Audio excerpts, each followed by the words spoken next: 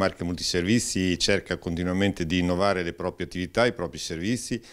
nel senso di miglioramento della qualità e della quantità dei servizi che forniamo ai cittadini e quindi alle amministrazioni comunali interessate. È ovvio che eh, in questo contesto l'occasione dei fondi del PNRR che sono già usciti anche come bando ci danno un'opportunità che è da cogliere perché non è poi automatico come qualcuno pensa, no? Dici sono i fondi quindi tutto tranquillo, no?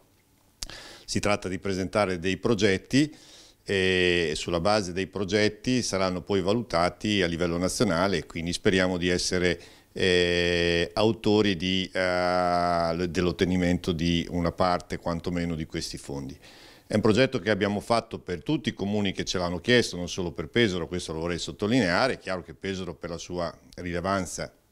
e per la sua dimensione è la parte più importante e proprio in questa direzione abbiamo puntato su eh, cosiddetti cassonetti intelligenti o, o cassonetti smarti. Quindi da questo punto di vista adesso speriamo che eh, le valutazioni siano positive. Con Pesaro abbiamo pensato proprio per la sua peculiarità e ripeto per la sua dimensione di partire con una prima sperimentazione al di là dei fondi perché chiaramente poi si tratta di cambiare anche le modalità di raccolta, soprattutto nel centro storico che vorrei ricordare oggi abbiamo il porta a porta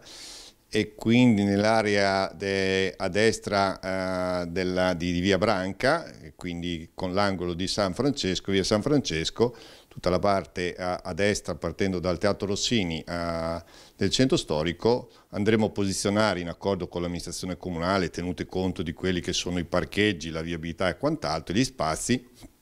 andremo a posizionare sei isole ecologiche eh, intelligenti e nei tempi che adesso andremo a definire con l'amministrazione, ripeto perché non è una cosa semplice,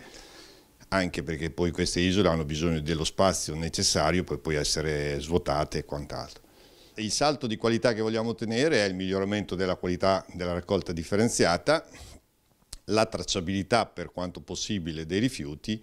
e quindi per arrivare anche alla tariffazione di questo servizio. Quindi è un processo qualitativo che va anche nella direzione di quelli che sono gli orientamenti e le delibere dell'autority nazionale, che è ARERA,